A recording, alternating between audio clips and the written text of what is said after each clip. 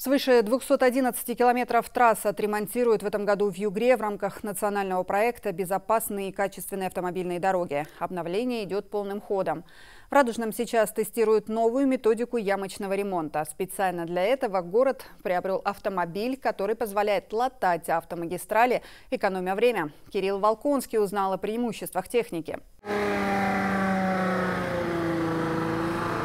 Сегодня в городе ремонтом дорог, как капитальным, так и ямочным, занимаются две организации. В качестве эксперимента один из подрядчиков закупил новую передвижную установку. В работе машины используют струйно-инъекционный метод. То есть после очистки выбоины аппарат заполняет образовавшийся в асфальте полотне пустоты специальной смесью. Излишки убирают обычной лопатой. Дальше дело за небольших размеров катком. Он утрамбовывает и выравнивает покрытие.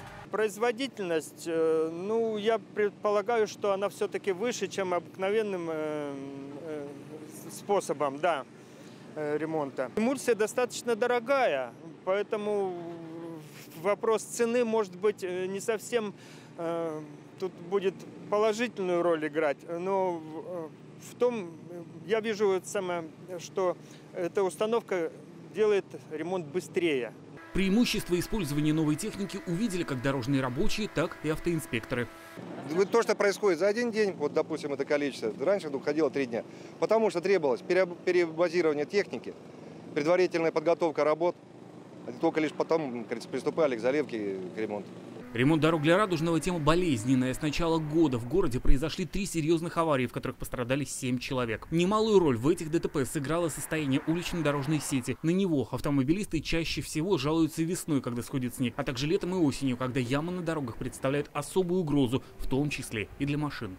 При каждом дорожном транспортном происшествии, которое было произошло, были зафиксированы недостатки улично-дорожной сети, как плохая различимость дорожной разметки, ямочный выбоины ямы. В марте месяце был комплексное, было совершено комплексное обследование улично-дорожной сети города Радужного, где администрации города было выдано представление на устранение со сроками, где администрация должна, соответственно, уложиться в определенный период времени и восстановить все недостатки.